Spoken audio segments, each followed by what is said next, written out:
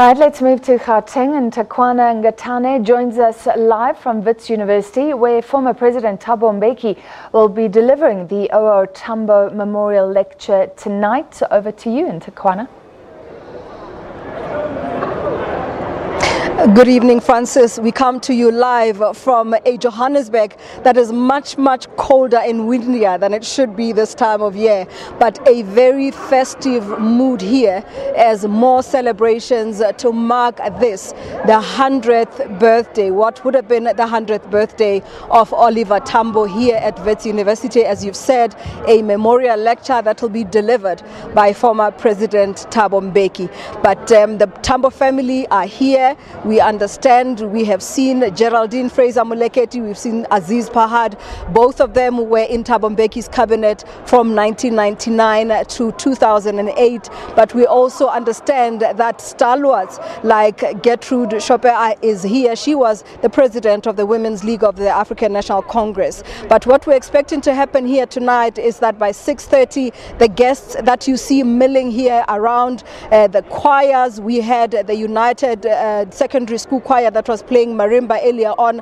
The Ladysmith Black Mambazo are here, but all of these guests and entertainers will have taken their seats by 6.30 and formal proceedings will then begin.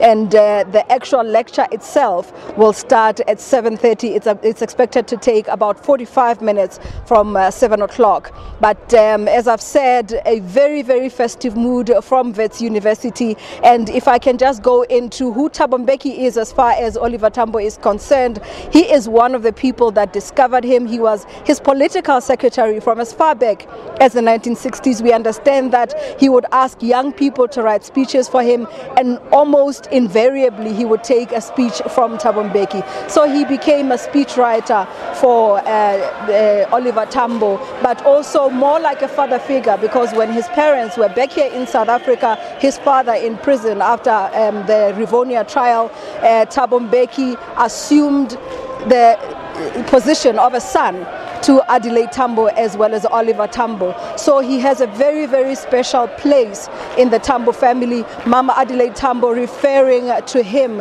as one of his sons, in fact, in fact his first son. So um, activities expected, as I say, to begin at around 6.30 here at Wits University, Francis. Thank you very much, and Nthakoana Ngatane. And if you can stay with us on DSTV 404, we will be taking you live to those proceedings at Wits a little later.